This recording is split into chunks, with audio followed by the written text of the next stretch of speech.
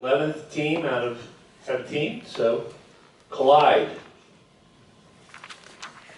Hi, this is Greg. Greg just sold his internet startup, his first internet startup, and suddenly he's got a whole lot of friends. so he wants to uh, he wants to celebrate his newfound freedom by going on a trip. And uh, with all these friends, Greg wants to invite some of them with him on this trip. So um, he needs a tool to figure out what's a good way to invite all his friends. So he turns to a tool called Collide. Okay, so and using Collide, Greg is able to search for flights on this trip. And thanks to Amadeus, he gets lots of choices. So first he sets up his itinerary. Looks like he wants to go to Narita, Japan. Does search.